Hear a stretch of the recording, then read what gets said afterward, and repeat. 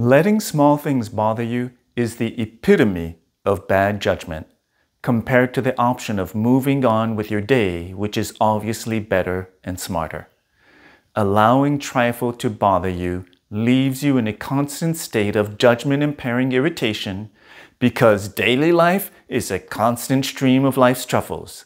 Slow internet, bad drivers, customer support agents who don't care or think, traffic jams, drivers who park too close to the line in parking lots, airplane passengers who use both armrests, cars and equipment that break down, crowded spaces, people who make every conversation about themselves, software upgrades that make things worse instead of better, gym rats who grunt loudly and don't wipe down the machine they just used, customers ahead of you waiting for 20 minutes and then not knowing what to order when it's their turn?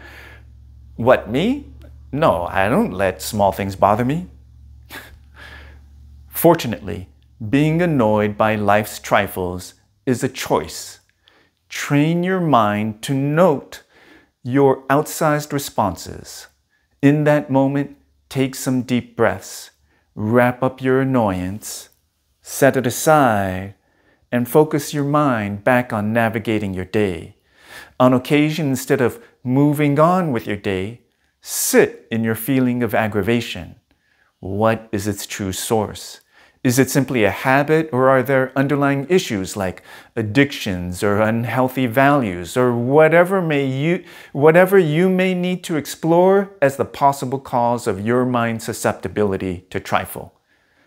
Healthy relationships require skillful navigation of trifle because when a relationship hits a rocky patch, it's too easy to mistake small issues for big ones chewing food loudly, bathroom habits, repeating the same story, you can live with those until something big like money, sex, or childcare weighs on your relationship. Then all those small things start bothering you way more. They feel right in your face.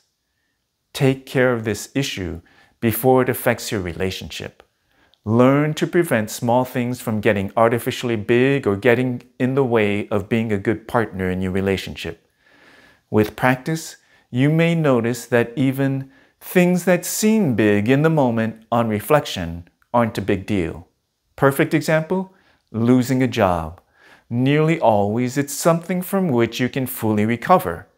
When I lost my job, I found it helpful to intermix my breathing practice with exploring unsettling feelings like failure, shame, and embarrassment. Sitting in those feelings normalizes them and makes them less intense. It delivers insight into concerns that may turn out to be more perceived than real.